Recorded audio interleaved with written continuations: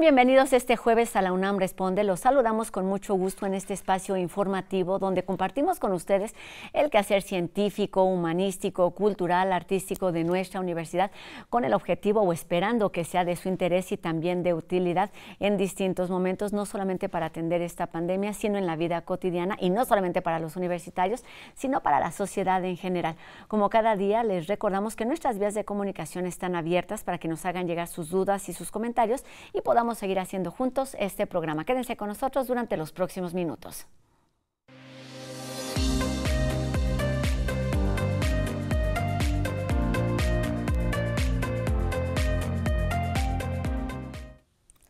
Desde hace algunos meses la viruela del mono o viruela símica ha sido noticia, aunque no se trata de una enfermedad nueva. Existe ya incluso una vacuna que dejó de aplicarse al menos en nuestro país luego de, erradicar este, de erradicarse este padecimiento hace aproximadamente ya cuatro décadas. Pero bueno, durante las últimas semanas se han presentado casos en al menos 80 países y recientemente la Organización Mundial de la Salud ha calificado este brote como emergencia internacional.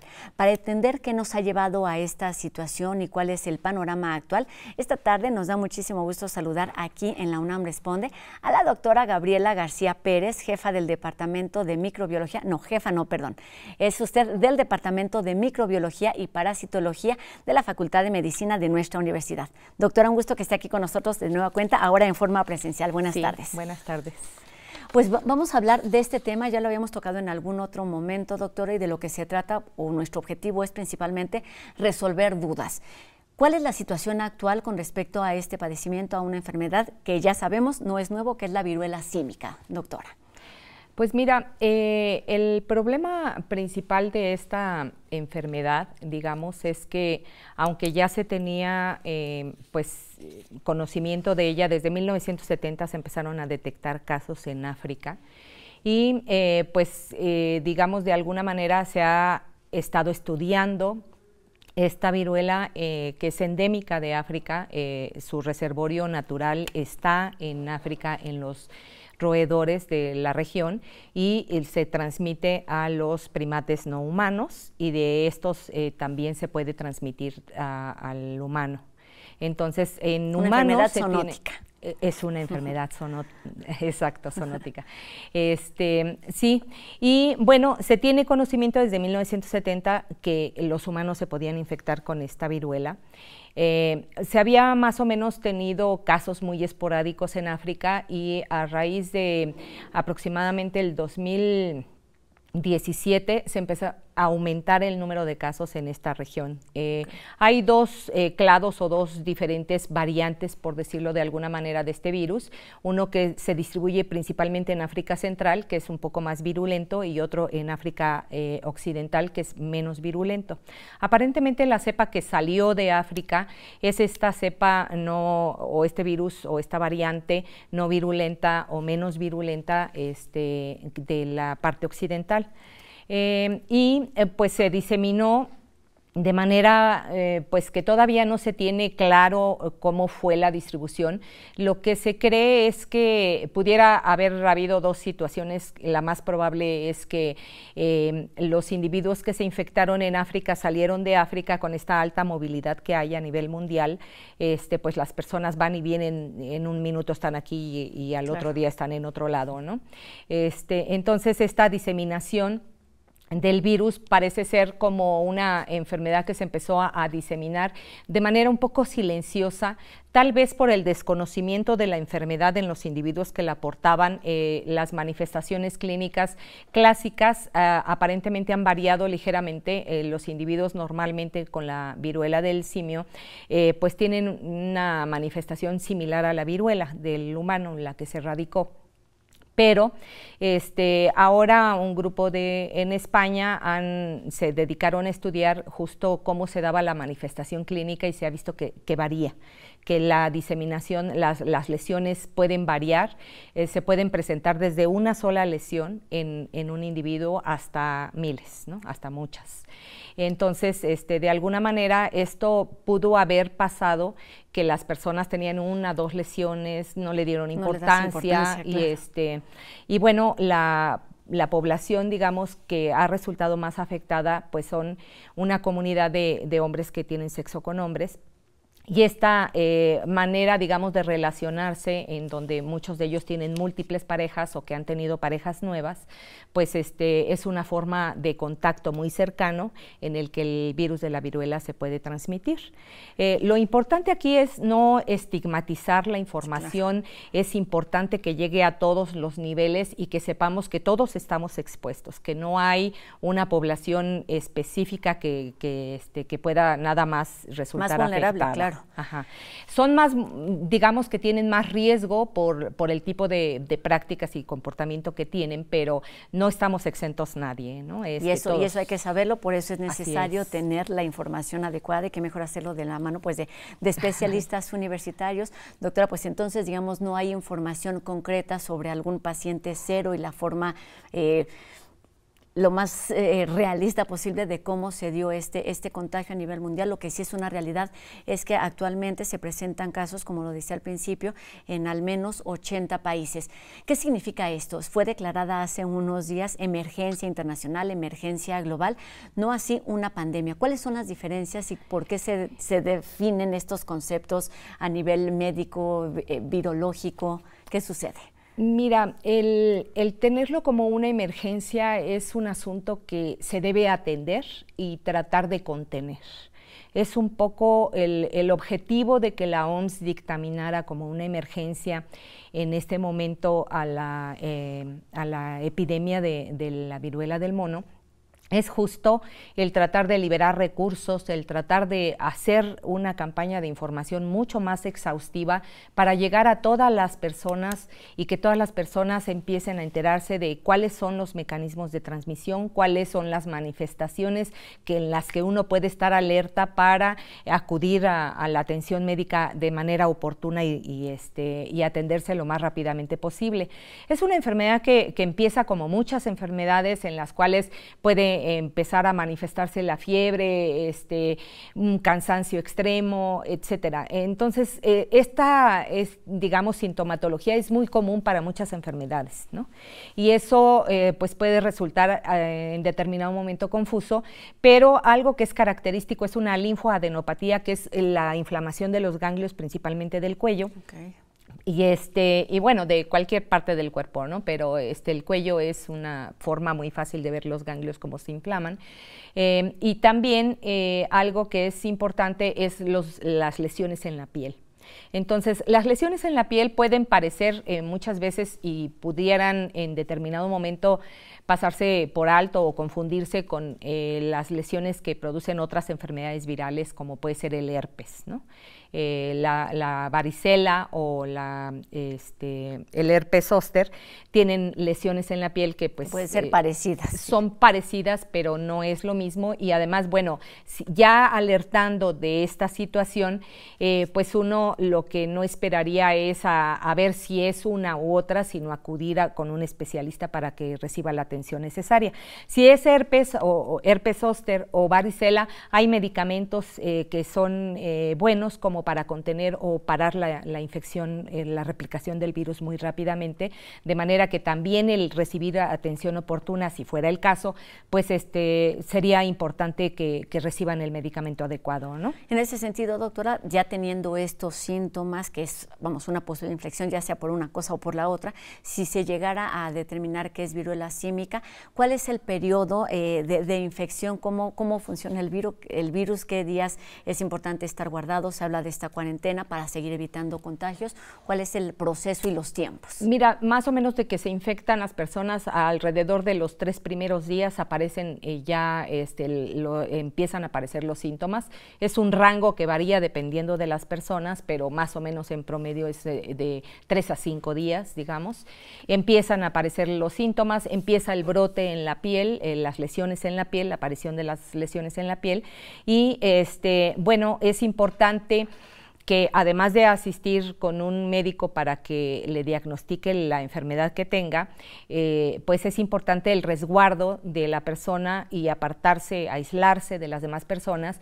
Es un virus que se transmite por contacto directo, eh, cercano, muy cercano, por gotitas también de saliva y de la respiración en contactos generalmente muy, muy cercanos.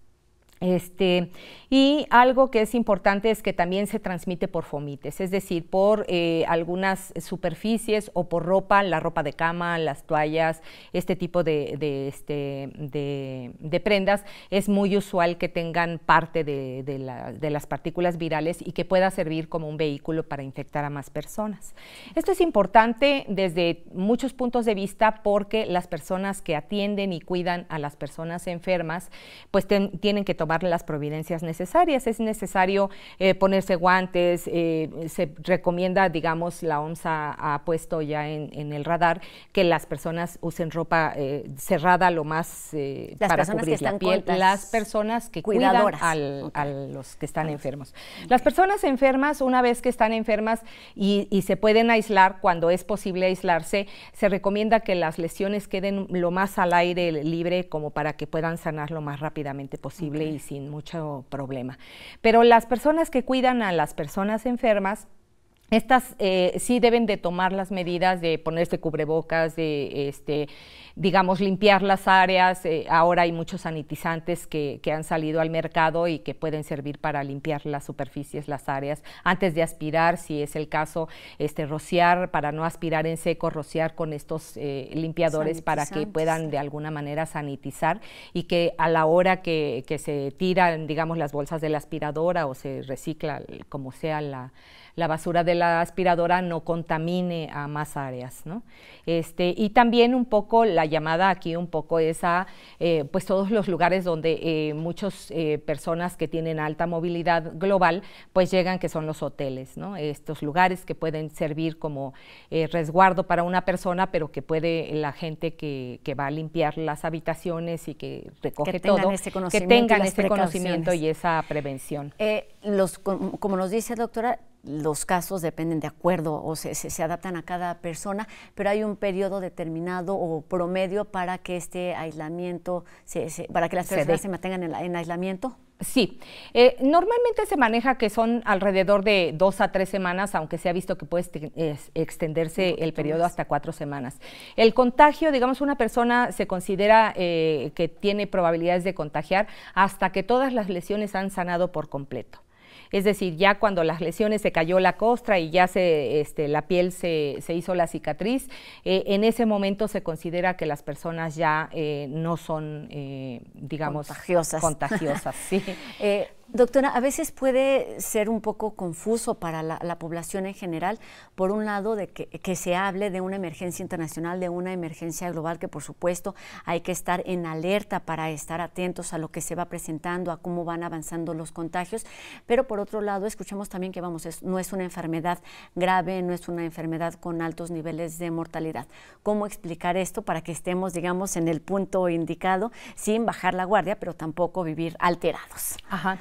Este, bueno, eh, de, en, este, en este punto sí es muy importante el considerar que la enfermedad como se ha dado, no es una enfermedad muy grave. Eh, en general, el índice de mortandad es muy bajo. Eh, normalmente se considera de más o menos el 2.3 al 3% de mortandad que eh, generalmente la población que está más expuesta a tener la enfermedad grave son niños, eh, la población infantil en general, niños y niñas, eh, los bebés obviamente y las madres embarazadas porque pueden transmitir el virus vía materna. Entonces son, digamos, las poblaciones que, que sí es importante atender a la brevedad posible. ¿no?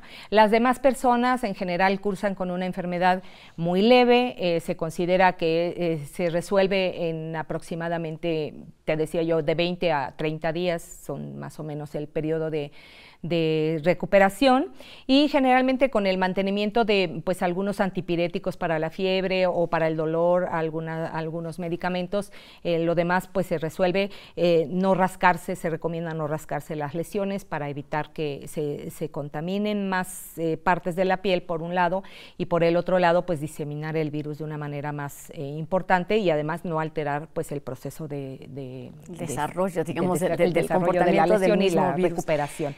Doctora, Sabemos de estos casos que ya se han presentado en nuestro país, se han identificado algunos de ellos y un poco también después se va perdiendo, vamos, fue el primero y fue el segundo y después nos vamos perdiendo un poquito en lo que sucede, pero es importante, nos decía, darle seguimiento, tener control de cada uno de estos casos para seguir evitando contagios. ¿Cuál es la situación en nuestro país? Y lo pregunto también en el sentido de las medidas que se deben tomar para poder evitar que esto se vuelva una, una emergencia.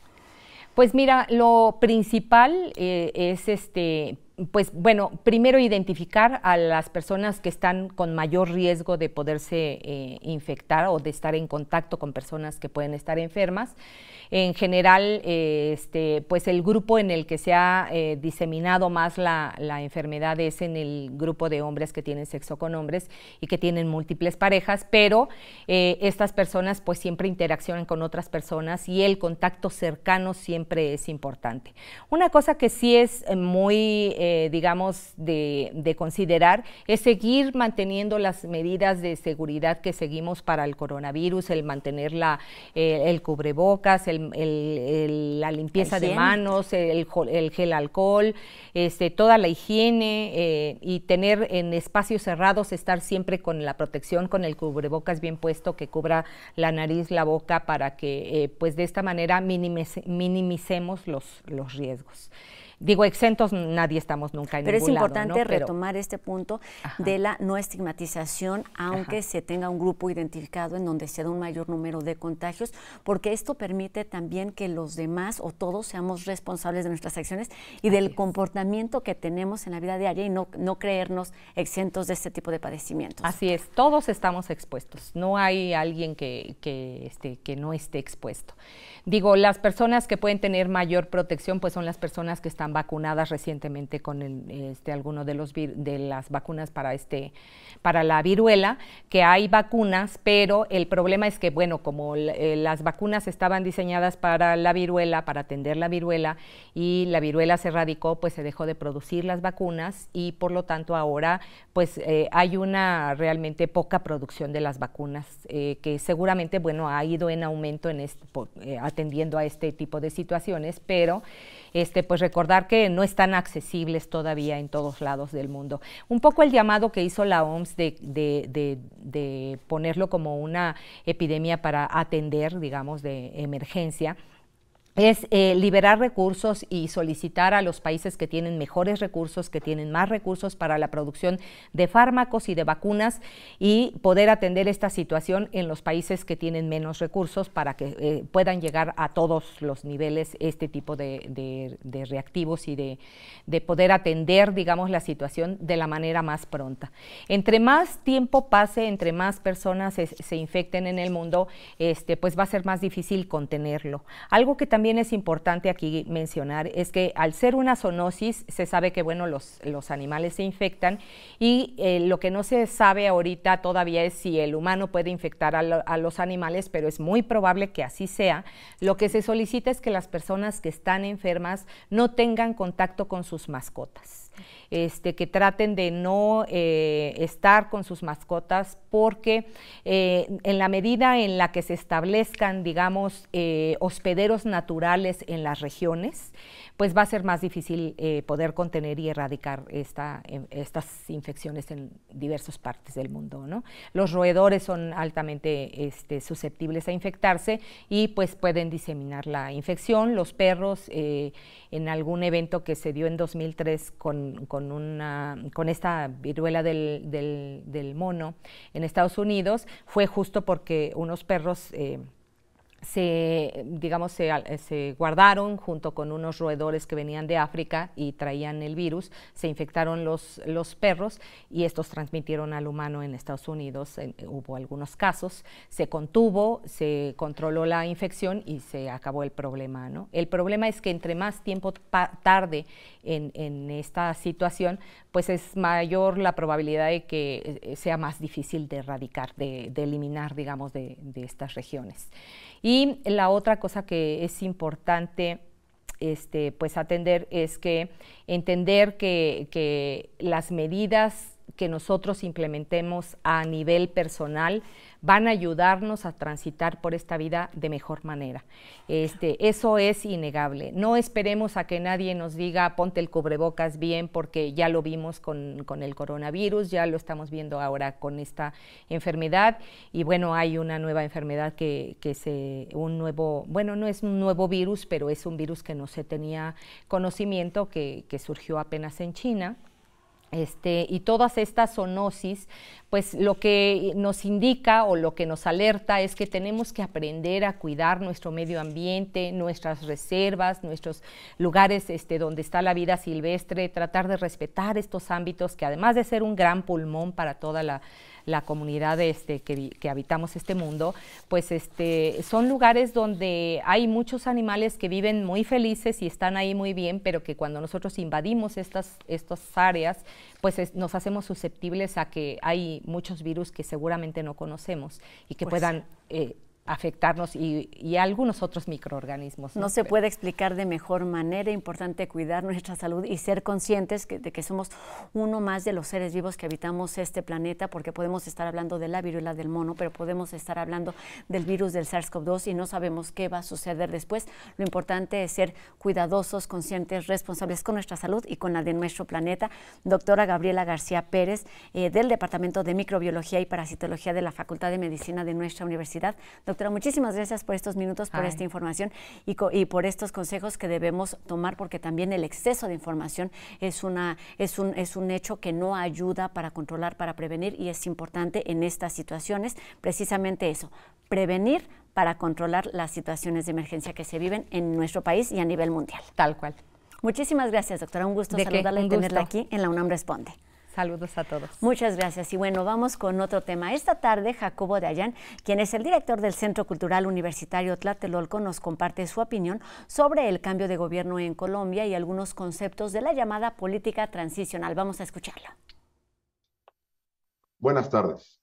La izquierda llega a gobernar a Colombia. Entre las primeras designaciones anunciadas por Gustavo Petro está la de Iván Velázquez como futuro ministro de Defensa. No solo se trata de un civil al frente de las Fuerzas Armadas, sino de un muy alto perfil vinculado con la lucha contra la impunidad. Entre las primeras decisiones que se han tomado en Colombia es la salida de la policía del Ministerio de Defensa. Con eso se pretende que la policía asuma su naturaleza civil, verdaderamente civil, la defensa de los derechos fundamentales y la garantía de la convivencia. A todo esto habría que añadir que desde hace años Colombia se encuentra en un proceso de justicia transicional en el que destacan dos mecanismos extraordinarios de verdad y justicia. Una comisión de la verdad verdaderamente independiente y una jurisdicción especial para la paz. Velázquez ha dicho que se debe evitar que la corrupción se esconda debajo de la etiqueta de la seguridad nacional y que no habrá tolerancia ni con la corrupción ni con la violación a derechos humanos. Las diferencias con México son abismales. Evidentemente hay de izquierdas a izquierdas. Buenas tardes. Y bueno, puede surgir de forma repentina o bien irse construyendo en el camino. Eitan Cruz, Cruz nos habla enseguida sobre la vocación y cómo podemos descubrir, descubrirla en Radio Aventureros.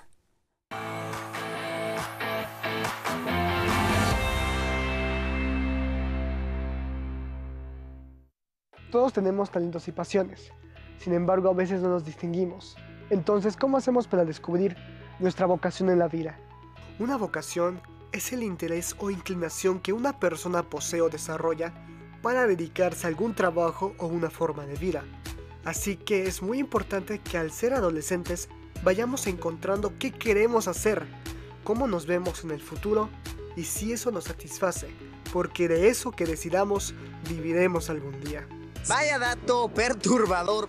Algo muy importante por hacer es escucharnos a nosotros mismos. Esto requiere ser completamente sinceros y preguntarnos quiénes somos, hacia dónde vamos.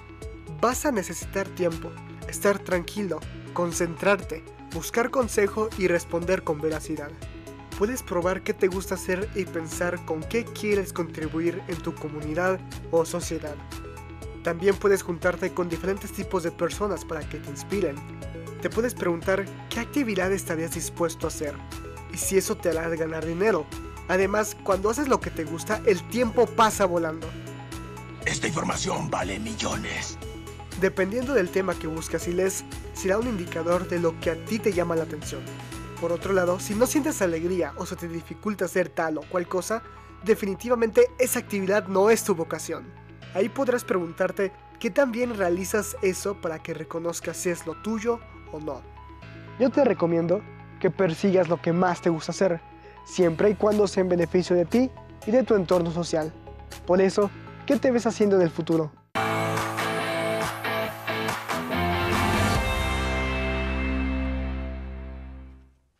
Y antes de despedirnos, les queremos compartir una recomendación para encontrarnos con princesas y gitanas que llegan a la Sala Miguel Covarrubias del Centro Cultural Universitario. Y es que la Compañía Nacional de Danza de Limba vuelve a escenarios universitarios este fin de semana para presentar el segundo acto de El Lago de los Cisnes y Carmen. Bajo la dirección de Elisa Carrillo y Cuauhtémoc Nájera, la compañía más antigua de nuestro país presenta funciones dobles este sábado 13 y el domingo 14 de agosto.